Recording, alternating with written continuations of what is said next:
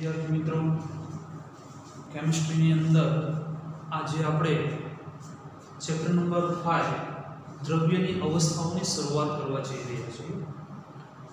દ્રવ્ય આપણે સૌ જાણીએ છીએ ચેપ્ટર નંબર વનની અંદર દ્રવ્યની વ્યાખ્યા આવી ગઈ હતી. દ્રવ્યનું વર્ગીકરણ પણ આપણે ચેપ્ટર નંબર એકની અંદર શીખી ગયા. તો સૌ પ્રથમ વાત કરીએ દ્રવ્ય એટલે શું? ફરી બધું પુનરાવર્તન જેવું જ છે. કે દ્રવ્ય એટલે જગ્યા રોકે અને દળ ધરાવતો હોય એને આપણે દ્રવ્ય તરીકે ઓળખીએ છીએ. અને આ દ્રવ્યની ભૌતિક અવસ્થાને આધારે ત્રણ પ્રકારે વર્ગીકરણ પણ આપણે સમજી ગયા. દ્રવ્ય ભૌતિક અવસ્થાને આધારે ત્રણ પ્રકારનું વર્ગીકરણ. વિદ્યાર્થી મિત્રો ઘન, પ્રવાહી અને વાયુ. એમાં આ ચેપ્ટરની અંદર આપણે દ્રવ્યની વાયુ અવસ્થાની ચર્ચા સૌથી વધારે કરવાની છે. પ્રવાહીનું માત્ર એક બેની લાક્ષણિકતાઓની ચર્ચા કરવાની છે. બાકી પ્રવાહી અને ઘન પદાર્થની બાકીની ચર્ચા એ જ્યારે તમે ધોરણ બારની અંદર અભ્યાસ કરશો ત્યારે ધોરણ 12 માં તમારે ઘન અવસ્થા અને પ્રવાહી માટે દ્રાવણ વાળું એક ચેપ્ટર આવશે. અહીંયા આપણે વાયુની અવસ્થાની જે ચર્ચા મોટા ભાગે કરવાની છે. તો આ દ્રવ્ય માટેના, ખાસ કરીને જે વાયુ છે, તો વાયુની અંદર સૌ પ્રથમ જે આંતરાણવીય બળ લાગે છે, એની ચર્ચા. આંતરાણવીય બળ એટલે શું? તો કે ખાસ કરીને વાયુ અવસ્થા હોય એવા અણુની અંદર અથવા પરમાણુની અંદર જે સહસંયોગ બંધ, આયનીય બંધ એવા બંધો દ્વારા સમજાવી ન શકાય એવા પ્રકારનું આકર્ષણ બળ એ વાંડવાસ નામના વૈજ્ઞાનિકે એની સૌ પ્રથમ સમજૂતી આપી.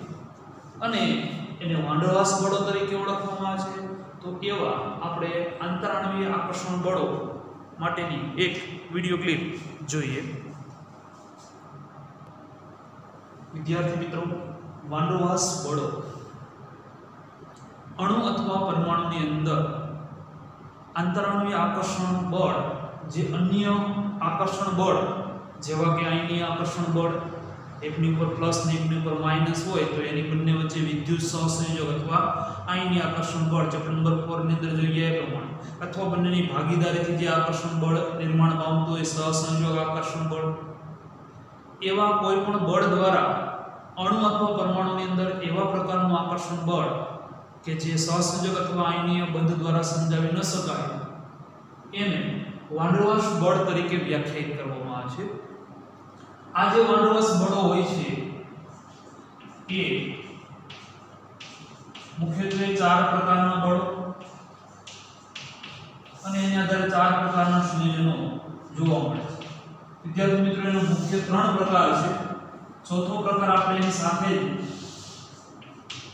વર્ણવી લઈએ છીએ. મુખ્ય ત્રણ પ્રકાર, પહેલું છે વિસર્જન બળ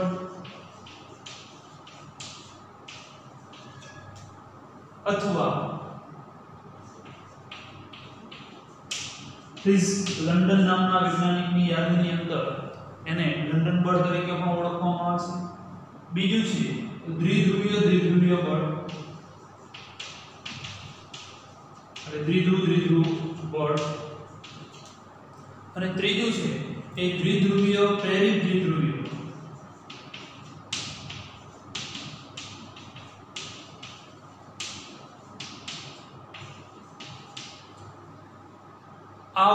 એક ચોથું જે આપણે બળ છે એની, આની સાથે જ આપણે અભ્યાસમાં એને આવરી લઈએ છીએ અને એ છે હાઇડ્રોજન બળ, કે જે આપણે ચેપ્ટર નંબર 4 ની અંદર પણ થોડો એનો ભાગ આપણે જોઈ ગયા. તો વિદ્યાર્થી મિત્રો, શરૂઆત, સૌપ્રથમ આપણે વિસર્જન બળની શરૂઆત કરીએ તો વિસર્જન બળ માટે કઈ રીતે ઉદ્ભવે છે એના માટે એક વીડિયો ક્લિપ નિહાળીએ વિદ્યાર્થી મિત્રો, આંતરાણવીય બળો પારસ્પરિક ક્રિયા કરતા આકર્ષણ બળો છે. આવા પ્રકારના બળો સૌપ્રથમ જોહાનિસ વાંડરવાસ નામના વૈજ્ઞાનિકે સમજાવ્યું હતું, જેને વાંડરવાસ બળ તરીકે ઓળખવામાં આવે છે. જેના ત્રણ પ્રકાર, મુખ્યત્વે ત્રણ પ્રકાર, લંડન બળ, દ્વિધ્રુવ દ્વિધ્રુવીય બળ અને દ્વિધ્રુવીય પ્રેરિત દ્વિધ્રુવીય બળ. વિદ્યાર્થી મિત્રો વાંડવાસના ત્રણ પ્રકારમાં સૌપ્રથમ વિસર્જન બળ અથવા લંડન બળની ચર્ચા કરીએ તો ફ્રીઝ લંડન જર્મન ભૌતિકશાસ્ત્રી છે. એમણે આ સૌપ્રથમ દર્શાવેલું હોવાને કારણે આ પ્રકારના બળને લંડન બળ તરીકે પણ ઓળખવામાં આવે છે. પરમાણુઓને અણુઓ વિદ્યુત રીતે સંમિતિ હોય છે. એટલે કે mu is equal to zero જેમની દ્વિધ્રુવીય ચાક માત્રા હોતી નથી. આવા પરમાણુ અથવા અધ્રુવીય અણુમાં જો ક્ષણિક સમય માટે અદ્વિધ્રુવીયતા વિકસે, તો એમની વચ્ચે આવા પ્રકારનું લંડન બળ ઉદ્ભવે છે.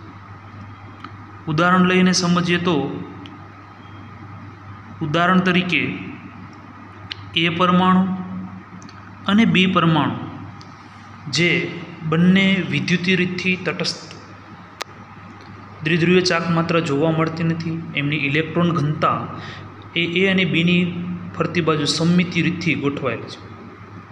પણ જો એની અંદર જો ક્ષણિક અનસિમેટ્રિકલ ડિસ્ટ્રીબ્યુશન, ક્ષણિક વિકૃતિ ઉત્પન્ન થાય, તો એની અસર એ બાજુમાં રહેલા બી પરમાણુ ઉપર, તમે એ પરમાણુમાં જોઈ શકો કે ઇલેક્ટ્રોન ઘનતા છે ડાબી બાજુ ડિસ્ટ્રીબ્યુટ થઈ છે.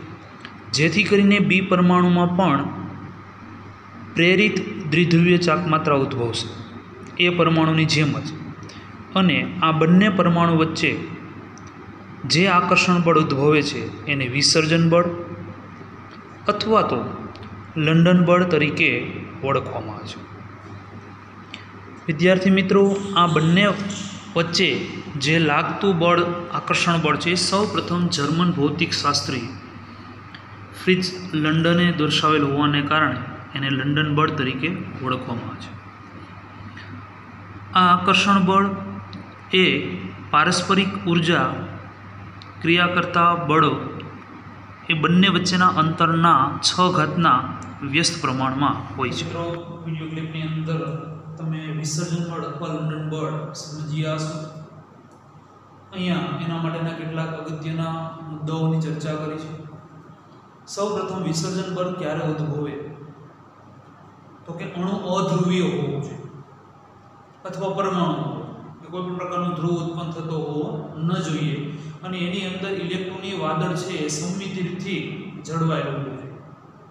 ઉદાહરણ તરીકે તમે એમાં એ અને બી આકૃતિમાં જોયું હશે કે આકૃતિ એની અંદર એ પરમાણુ, એની અંદર એની અંદર ઇલેક્ટ્રોનની ઘનતા જે છે એ સમમિતિથી જળવાયેલી છે. સેમ એ રીતથી બીજો પરમાણુ બી છે, એની અંદર પણ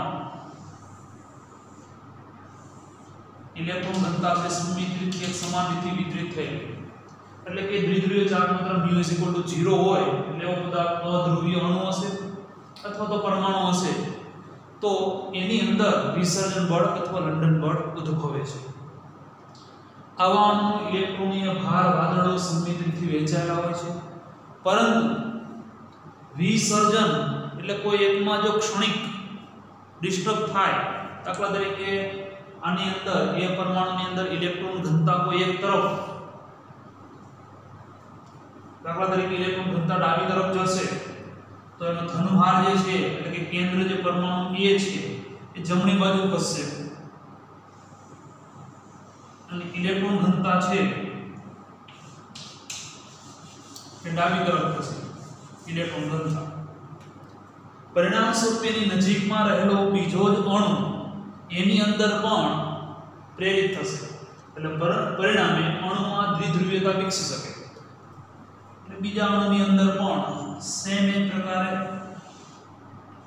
બી અણુ એટલે કે ઇલેક્ટ્રોન ઘનતા છે એ પણ ડાબી બાજુ ખસશે. જેથી કરીને આ બંને વચ્ચે આકર્ષણ બળ છે.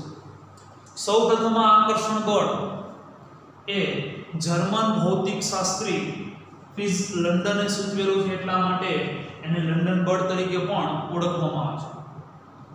આ બંને પ્રકારના એટલે કે કેન્દ્ર એટલે કે ધનભાર અને ઇલેક્ટ્રોન ઘનતા એ બંને વચ્ચે આકર્ષણ જ હોય છે. કારણ કે પ્લસ અને માઇનસ વચ્ચે આકર્ષણ જ હોય. એટલે વિસર્જન બળ લંડન બળ હંમેશા આકર્ષણ બળ પ્રકારના હોય છે. એ લગભગ પાંચસો પિકોમીટરના અંતરે, બે અણુઓ પાંચસો પિકોમીટરના અંતરે હશે, ત્યારે આવા પ્રકારનું વિસર્જન બળ જોવા મળશે. પારસ્પરિક ઊર્જા, બે કણો વચ્ચેની પારસ્પરિક ઊર્જા હોય છે, એ બંને કણોના અંતરના છઠ્ઠા ઘાતના વ્યસ્ત પ્રમાણમાં હોય છે. બંને અણુ દાખલા તરીકે પાંચસો પિકોમીટરની જગ્યાએ ચારસો પિકોમીટરની આસપાસ છે, તો એ બંને વચ્ચેનું અંતર આ એની છ ઘાત એના વ્યસ્ત પ્રમાણમાં ઊર્જા નક્કી કરી શકાય છે. અને અંતમાં આ બળની પ્રબળતા કેટલી? કેટલી કેટલી માત્રામાં હોય છે? તો એ એની ધ્રુવીભવનીયતા ઉપર આધાર રાખે છે કેટલું એ ધ્રુવીભવન પામે છે. કેટલું પોલરાઇઝ થાય છે. કેટલું એ ઋણ અથવા ધન વીજભાર એ પોલરાઇઝેશન દર્શાવે છે, એની ઉપર આધાર રાખે છે. વિસર્જન બળ અને લંડન બળ માટેના અગત્યના મુદ્દાઓ આપણે અહીંયા નોંધેલા છે, એ લખી લઈએ. ત્યારબાદ, વિદ્યાર્થી મિત્રો, બીજા પ્રકારનું આકર્ષણ બળ દ્વિધ્રુવી દ્વિધ્રુવીય બળ. આગળનું જે આકર્ષણ બળ હતું ને આપણે જોઈ ગયા કે અધ્રુવીય અણુ, mu ઇઝ ઇક્વલ ટુ 0 દ્વિધ્રુવીય ચાક માત્રાની કિંમત જેની શૂન્ય હોય, એની વચ્ચે વિસર્જન બળ અથવા લંડન બળ ઉત્પન્ન થાય. પણ mu is not equal to 0 એનો મતલબ કે દ્વિધ્રુવીયતા હોય, તો એની અંદર જે આકર્ષણ બળ જોવા મળે છે, એને આપણે દ્વિધ્રુવીય દ્વિધ્રુવીય આકર્ષણ બળ તરીકે ઓળખી શકીએ છીએ. સૌપ્રથમ આપણે એક નાની એવી વીડિયો ક્લિપ દ્વારા દ્વિધ્રુવીય બળને સમજીએ. વિદ્યાર્થી મિત્રો, બીજા પ્રકારની વાત કરીએ તો દ્વિધ્રુવીય દ્વિધ્રુવીય બળો. આવા પ્રકારના બળો એ કાયમી દ્વિધ્રુવીય ધરાવતા અણુ વચ્ચે લાગુ પડે છે. આ દ્વિધ્રુવીયના છેડા ઉપર આંશિક ભાર ધરાવે છે, જેને ડેલ્ટા વડે દર્શાવવામાં આવે છે. અહીં તમે માઇનસ ડેલ્ટા અને પ્લસ ડેલ્ટા સ્વરૂપે તમે જોઈ શકો છો, એ આંશિક વીજભાર ધરાવે ઉદાહરણ તરીકે હાઇડ્રોજન ક્લોરાઇડ લઈએ તો ક્લોરીન વધુ વિદ્યુતઋણ પરમાણુ હોવાને કારણે હાઇડ્રોજનના બંધમાંના ઇલેક્ટ્રોન ક્લોરીન તરફ આકર્ષાય છે. જેથી કરીને ક્લોરીન ઉપર આંશિક ઋણવીજભાર અને હાઇડ્રોજન ઉપર ઇલેક્ટ્રોન ઘનતા ઓછી એટલે આની ઉપર આંશિક ધન વીજભાર ઉદ્ભવે. આવા અણુ વચ્ચે હાઇડ્રોજન ઉપર આંશિક ધન વીજભાર અને બીજા અણુના ક્લોરીન ઉપર આંશિક ઋણ વીજભાર વચ્ચે આકર્ષણ બળ લાગે છે, જેને દ્વિધ્રુવીય દ્વિધ્રુવીય બળ તરીકે ઓળખવામાં આવે છે. અહીં ઇલેક્ટ્રોન ઘનતા જેટલી વધુ હશે, એટલે કે ધ્રુવીયતા જેટલી વધારે હશે, એટલું બળ વધારે હશે. એટલે ધ્રુવીય અણુની અંદર એનું ઉત્કલન બિંદુ એ અધ્રુવીય અણુના ઉત્કલન બિંદુ કરતાં કમ્પેરેટલી ઊંચું હોય છે, કારણ કે આકર્ષણ બળ વધુ હોય છે. ડાયપોલ ડાયપોલ ફોર્સ એ આંતરાણવીય બળોમાં સૌથી વધુ મજબૂત ગણી શકાય અને આયન આયન વચ્ચેના બળ કરતાં નબળું ગણી શકાય. વીડિયો ક્લિપની અંદર તમે સરળતાથી અને સારી રીતે સમજ્યા હશો એના માટેના કેટલાક અગત્યના મુદ્દાઓની ચર્ચા કરીએ. તો દ્વિધ્રુવીય દ્વિધ્રુવીય બળ ક્યારે જોવા મળે? તો કે જે અણુ કાયમી ધ્રુવીયતા દર્શાવતો એટલે કે જેનું ચુંબકીય ચાક માત્રાનું મૂલ્ય કંઈક મળતું હોય, શૂન્ય ન હોય, એવા અણુમાં દ્વિધ્રુવીય દ્વિધ્રુવીય બળ હાજર હોય છે. એ દ્વિધ્રુવીય બળ એ જે આંશિક વીજભાર ઉદ્ભવે છે, જેને ડેલ્ટા વડે દર્શાવવામાં આવે છે, એ સ્પષ્ટ વિદ્યુત ભાર નથી.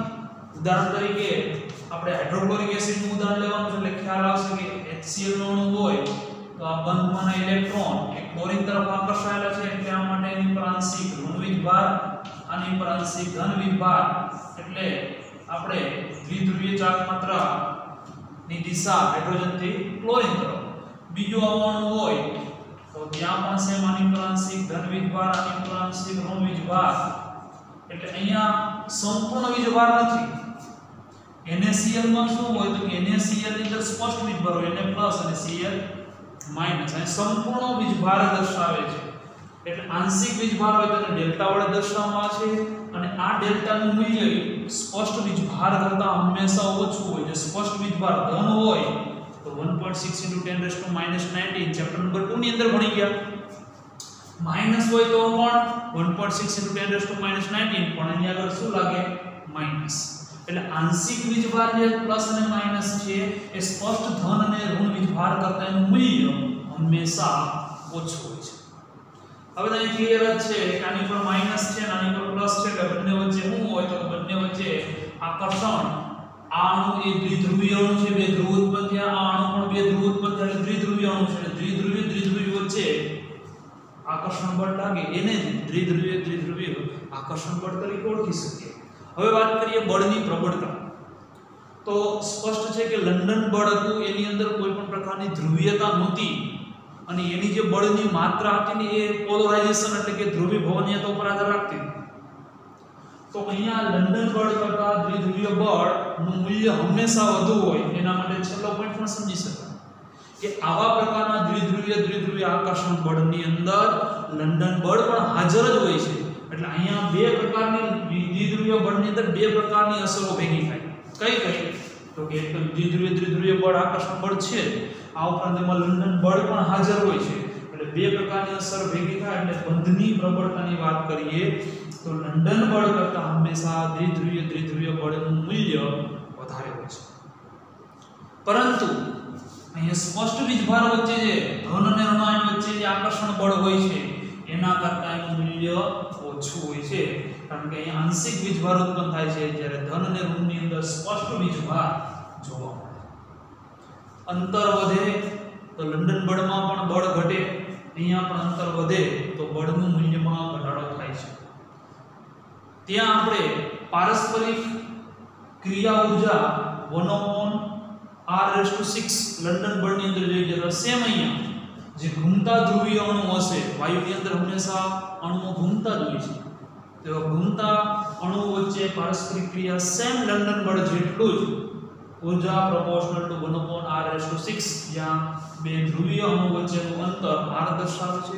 પરંતુ જો એ ઘન અવસ્થામાં હોય, એટલે કે અણુઓ ઘૂમતા ન હોય પણ સ્થિર અવસ્થામાં હોય, તો સ્થિર અવસ્થાની અંદર બે અણુઓ વચ્ચેનું પારસ્પરિક ક્રિયાબળ જે છે એ one upon r raise to six નહીં one upon r raise to three આ દ્વિધ્રુવીય દ્વિધ્રુવીય માટેના કેટલાક અગત્યના મુદ્દાઓ હતા. આકૃતિ અહીં સ્પષ્ટ છે કે આ દર્શાવતો એ ખ્યાલ આવે કે માઇનસ અને પ્લસ વચ્ચે એ આકર્ષણ હોવાને કારણે અહીંયા દ્વિધ્રુવીય દ્વિધ્રુવીય બળને આ રીતથી સ્પષ્ટ રીતથી સમજી શકીએ. ત્યાર પછી ત્રીજું દ્વિધ્રુવીય પ્રેરિત દ્વિધ્રુવીય બળ વિદ્યાર્થી મિત્રો, વાંડરવાસ પ્રકારના જે બળો છે ને, એમાં પહેલું પહેલું આપણે વિસર્જન બળ જોયું હતું. વિસર્જન બળની અંદર અધ્રુવીય અણુ વચ્ચે લાગતું હતું. બીજું દ્વિધ્રુવીય દ્વિધ્રુવીય બળો કે ધ્રુવીય અણુ વચ્ચે લાગે. તો અહીં સ્પષ્ટ છે કે દ્વિધ્રુવીય એટલે કે જે કાયમી ધ્રુવીયતા ધરાવતો હોય એવો અણુ અને પ્રેરિત કરવાનો છે. એટલે એ અણુ કેવો હશે? અધ્રુવીય. એટલે કાયમી ધ્રુવીય અણુ અને અધ્રુવીય અણુ વચ્ચે જે આકર્ષણ બળ ઉદ્ભવતું હશે, એને આપણે દ્વિધ્રુવીય પ્રેરિત દ્વિધ્રુવીય બળ તરીકે ઓળખી શકીએ. આના માટે આપણે વીડિયો ક્લિપની સા જોઈએ તો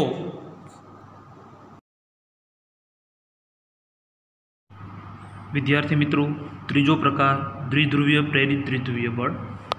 આ પ્રકારના બળોમાં કાયમી દ્વિધ્રુવીયતા ધરાવતા ધ્રુવીય અણુ અને કાયમી દ્વિધ્રુવીયતા ઉણપવાળા, એટલે કે અધ્રુવીય અણુ વચ્ચે આંતરાણવી આકર્ષણ હોય છે. ઉદાહરણ તરીકે, પાણીના અણુમાં ધ્રુવીયતા છે, બાજુમાં અધ્રુવીય અણુની અંદર પ્રેરિત ધ્રુવીયતા ઉત્પન્ન કરે. ક્લોરીન અને પાણીના અણુના ઉદાહરણ દ્વારા સમજીએ તો ક્લોરીન એ અધ્રુવીય અણુ છે. પાણી એ ધ્રુવીય અણુ છે. એટલે એની ઉપર દ્વિધ્રુવીયતા ઉત્પન્ન થયેલી છે. અહીં ઓક્સિજન છે એ પોલોરાઇઝ થાય છે, જેને કારણે ક્લોરીન ઉપર દ્વિધ્રુવીયતા પ્રેરિત કરશે. ઓક્સિજનની નજીક રહેલો ક્લોરીન પરમાણુ પ્રાંશિક ધનવીજભાર ધન વીજભાર જેથી કરીને ઓક્સિજન અને આ ક્લોરીન પરમાણુ વચ્ચે એ દ્વિધ્રુવીય, પ્રેરિત દ્વિધ્રુવીય આકર્ષણ બળ ઉદ્ભવે છે. વિદ્યાર્થી મિત્રો, મોટા કદવાળા અણુઓ હોય એ સહેલાઈથી ધ્રુવીભૂત કરી શકાય છે અને એટલા જ માટે એની મોટા કદવાળા અણુની ધ્રુવીભવનીયતા વધારે હોય છે. જેમ કે બ્રોમિન ક્લોરીન કરતાં મોટા કદમાં હશે એટલે એનું ધ્રુવીભવન વધુ થશે અને વધુ મજબૂતથી જોડાશે. અહીં પણ વિદ્યાર્થી મિત્રો, ઇન્ટરેક્શન એનર્જીની વાત કરીએ, તો બે અણુ વચ્ચે અંતરના છ ઘાતના વ્યસ્ત પ્રમાણમાં હોય છે.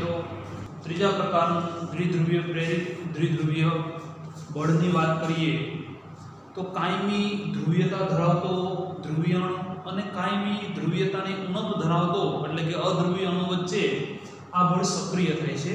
ઉદાહરણ તરીકે સમજીએ તો દાખલા તરીકે કોઈ ધ્રુવીય અણુ છે એ અને બી અને એની સાથે કોઈ સી અણુ કે જેની અંદર ઇલેક્ટ્રોન ઘનતા છે એ ઇલેક્ટ્રોન ઘનતા સમમિત રીતથી ગોળાકાર સ્વરૂપે ઇલેક્ટ્રોન ઘનતા જોવા મળે છે.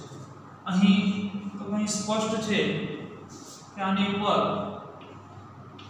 પ્લસ અને આની ઉપર માઇનસ, એટલે કે ધ્રુવીય છે. અથવા આના કરતા ઊંધું દર્શાવતો પણ ચાલે. એટલે આ આઈમી ધ્રુવીય તા દર્શાવતો અણુ, એટલે ધ્રુવીય અણુ. અને ઉણપવાળો, એટલે કે અધ્રુવીય અણુ. આ બંને અણુ એટલે કે જ્યારે ધ્રુવીય અણુ અધ્રુવીય નજીક આવે છે, ત્યારે વિદ્યુતીય જે તટસ્થ વિદ્યુતીય વાદળ છે એને વિકૃત કરશે. અને સ્પષ્ટ છે કે આની ઉપર માઇનસ ડેલ્ટા છે, એટલે આનો ધનભાર આ બાજુ આવશે અને ઋણભાર આ બાજુ જશે. એટલે આમાં પણ ધ્રુવીયતા ઉત્પન્ન થશે. બંને એકબીજાની નજીક આવશે, ત્યારે બનશે આવું. આની ઉપર માઇનસ, આની ઉપર પ્લસ ડેલ્ટા હતો, એટલે અહીંયા પ્લસ વિકસિત થશે અને માઇનસ વિકસિત થશે. આ તરફ. એટલે કે આ બાજુ દાખલા તરીકે કેન્દ્ર અને સી વડે દર્શાવતો એ બાજુ આવશે. અહીંયા માઇનસ અને પ્લસ વડે નિર્બળ આકર્ષણ જુઓ.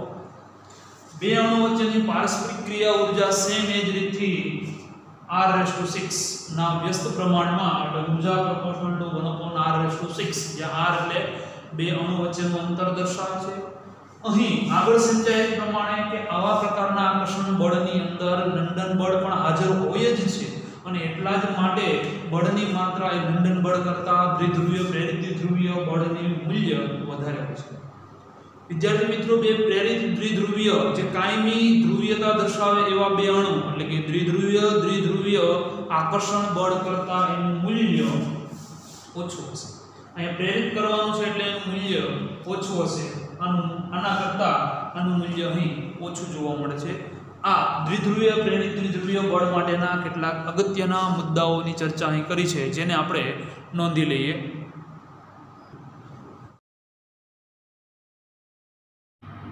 વિદ્યાર્થી મિત્રો દ્વિધ્રુવીય દ્વિધ્રુવીય પારસ્પરિક ક્રિયાનો ખાસ વિશિષ્ટ ઉદાહરણ તરીકે હાઇડ્રોજન બંધ સમજીએ તો એમોનિયા, પાણી અને એચએફ આ બધાની અંદર હાઇડ્રોજન બંધ. આપણે ચેપ્ટર નંબર ફોરની અંદર શીખી ગયા. એ જ પ્રમાણે હાઇડ્રોજન બંધ જોવા મળે છે. હાઇડ્રોજન બંધની ઉર્જાની વાત કરીએ તો, વિદ્યાર્થી મિત્રો હાઇડ્રોજન બંધની ઊર્જા એ દસથી સો કિલો જૂલ પ્રતિ મોલ જેટલી ઊંચી ઊર્જા ધરાવે છે. જેથી કરીને ઘણા બધા સંયોજન એ શક્તિશાળી બંધ ધરાવે છે. જેમ કે પ્રોટીન અને ન્યુક્લિક એસિડની અંદર સ્ટ્રોંગ હાઇડ્રોજન બંધ જોવા મળે છે. ત્યારબાદ ચોથા પ્રકારનું આંતરાણવીય આકર્ષણ બળ, હાઇડ્રોજન બંધ આગળના ચેપ્ટરની અંદર આપણે થોડુંક સમજી ગયા હતા. હાઇડ્રોજન બંધ જે છે, એ હાઇડ્રોજન જ્યારે ફોન સાથે જોડાયેલો હોય. હાઇડ્રોજન જ્યારે ફોન સાથે જોડાયેલો હોય. એટલે હાઇડ્રોજન જ્યારે ફ્લોરિન ઓક્સિજન અથવા હાઇડ્રોજન સાથે જોડાયેલો હોય, આ વધુ વિદ્યુતઋણ પરમાણુ છે. જેથી કરીને આને ત્રણેય ઉપર આંશિક ઋણ વીજભાર અને હાઇડ્રોજન ઉપર આંશિક ધન વિજવાર ઉત્પન્ન થશે. આવો દ્વિધ્રુવીય અણુ સેમ એના જેવા બીજા અણુ સાથે અથવા તો એના કરતાં થોડાક અલગ, એટલે કે સમ અથવા વિષમ. આપણે એના પણ પ્રકારની ચર્ચા કરી ગયા હતા આગળના ચેપ્ટરની અંદર. સેમ અહીં માત્ર ને માત્ર એક વધારાનો ટોપિકની ચર્ચા કરવાની છે. એ છે હાઇડ્રોજન બંધને તોડવા માટેની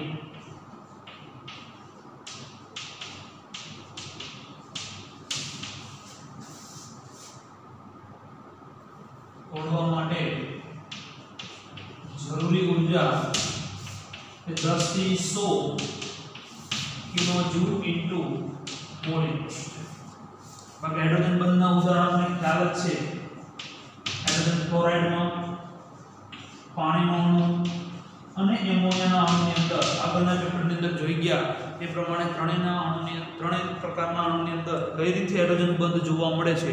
એની સવિસ્તાર ચર્ચા આપણે ચેપ્ટર નંબર ફોરની અંદર કરી ગયા છે.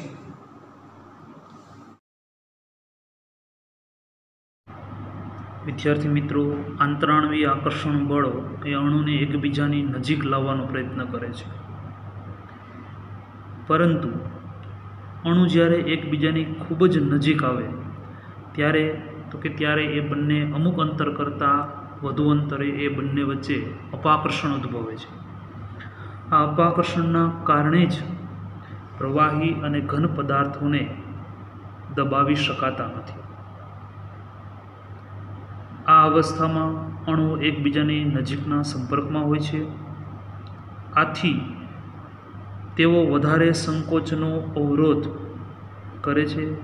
એના પરિણામ સ્વરૂપે એની અંદર અપાકર્ષણ પારસ્પરિક ક્રિયા વધે છે. મિત્રો અહીં સુધીની આપણે જે આંતરાણવીય બળોની ચર્ચા કરી આ આંતરાણવીય બળો.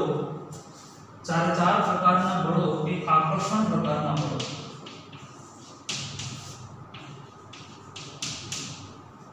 વાયુની અંદર આ બળો સૌથી વધુ જોવા મળે છે. કારણ તો કે ચેપ્ટર નંબર 1 ની અંદર આપણે જોઈ ગયા પ્રમાણે કે વાયુની અંદર કણો એકબીજાથી ખૂબ જ દૂર હોય છે. આવા અણુ જ્યારે એકબીજાની નજીક આવા આંતરાણવીય આકર્ષણ બળને કારણે છે પરંતુ પ્રવાહી અને ઘન પદાર્થની અંદર અણુ એકદમ નજીક જ હોય છે. તો વાયુને જ્યારે આપણે દબાવવાનો પ્રયત્ન કરીએ ત્યારે એમની વચ્ચે ગેપ એટલે કે અવકાશ વધુ હોવાને કારણે, આકર્ષણ બળને કારણે વાયુના કણોને, અણુને એકબીજાની નજીક લાવી શકાય. પરંતુ ખૂબ નજીક લાવવામાં આવે તો એ આકર્ષણ ઉપરાંત અમુક અંતર કરતાં નજીક આવશે ત્યારે એની અંદર અપાકર્ષણ બળ વધવા માંડે છે. જેથી કરીને પ્રવાહી અને ઘન પદાર્થની અંદર આપણે એની ઉપર દબાણ એટલે કે બે અણુને નજીક લાવવાનો પ્રયત્ન કરીએ ત્યારે અપાકર્ષણ બળ વધુ હોય છે. એટલા જ માટે ઘન અને પ્રવાહીને આપણે દબાવી શકતા નથી. વિદ્યાર્થી મિત્રો, કેટલીક ટર્મિનોલોજી સામાન્ય વ્યવહાર ઉપયોગ માટે જરૂરી છે એટલે સમજીએ તો સૌપ્રથમ ઉષ્મીય ઊર્જા. ઉષ્મીય ઊર્જા એટલે અણુઓ છે એ પારસ્પરિક જે ગતિ કરે છે. એ ગતિને કારણે જે એમાં ઊર્જા ઉદ્ભવે છે, એને આપણે ઉષ્મીય ઊર્જા તરીકે વ્યાખ્યાયિત કરી શકીએ. આ ઉષ્મીય ઊર્જા એ તાપમાનના વધારા સાથે વધે છે. એટલે ઉષ્મીય ઊર્જા પ્રમોશન ટી તાપમાન પર આધાર રાખે છે. તાપમાનના વધારા સાથે ઉષ્મી ઊર્જા એટલે કે અણુઓમાં ગતિ વધે ગતિ વધે એટલે ઉષ્મી ઉર્જાનું મૂલ્ય વધે. આંતરાણીય બળો શું કામ કરે છે? કે બળો જે અણુ અસ્તવ્યસ્ત ગતિ કરે છે એને ભેગા રાખવાનો પ્રયત્ન કરે છે. જ્યારે ઉષ્મી ઊર્જા શું છે, એ અણુને દૂર કરવાનો પ્રયત્ન કરે એટલે આ બંને એકબીજાના પરસ્પર વિરુદ્ધ છે. આંતરાણીય બળો એ અણુને ભેગા રાખવાનો પ્રયત્ન કરે દાખલા તરીકે, અણુ A અને B એ બંનેને ભેગા રાખવાનું કામ એ આંતરાણીય બળો કરે છે જ્યારે અણુ A અને B ને એકબીજાથી દૂર કરવાનું કામ એ ઉષ્મીય ઉર્જાઓ કરે છે. અને આ બંનેનો ઉપયોગ કરીને આપણે ઘન, પ્રવાહી અને વાયુ અવસ્થાની ચર્ચા કરીએ. તો ઉષ્મીય ઊર્જા એ ઘનનું પ્રવાહીમાં, પ્રવાહીનું વાયુમાં રૂપાંતરિત કરે છે. જ્યારે આંતરાણીય બળો છે નજીક લાવવાનો પ્રયત્ન કરે છે, એટલે એનો મતલબ એવું કહી શકાય કે પ્રવાહીને, વાયુને, પ્રવાહીમાં અને પ્રવાહીને ઘનમાં રૂપાંતરણ કરે છે. ત્યારબાદ વિદ્યાર્થી મિત્રો, આપણે પાઠની અંદર જેનો અભ્યાસ કરવા જઈ રહ્યા છીએ તેવો વાયુની અવસ્થા. વાયુની અવસ્થાની અંદર વાત કરીએ તો આવર્ત કોષ્ટકની અંદર આમ તો વાયુ આપણે, આપણી આસપાસ વાયુ છે. વાતાવરણ આખું વાયુથી બનેલું છે. આવર્ત કોષ્ટકની અંદર વાયુની વાત કરીએ તો જે નિષ્ક્રિય વાયુ જે છે, helium, neon, argon, krypton, xenon, radon, એટલે કે helium, neon, argon, krypton, xenon અને રેડોન. આ ઉપરાંત, તો કે આ ઉપરાંત હોન એટલે કે ક્લોરીન ઓક્સિજન નાઇટ્રોજન ક્લોરીન અને હાઇડ્રોજન આટલા તત્વો જ, ત્રણ ત્રણ, છ, દસ ને અગિયાર તત્વો જ આવત કોષ્ટકની અંદર વાયુ સ્વરૂપે અસ્તિત્વ ધરાવે વાયુના કેટલાક ગુણધર્મો આપણે ચેપ્ટર નંબર વનની અંદર પણ જોઈ ગયા હતા. આ ઉપરાંત આ તત્વો અને વાયુના કેટલાક ગુણધર્મો આપણે વીડિયો ક્લિપ દ્વારા સમજીએ.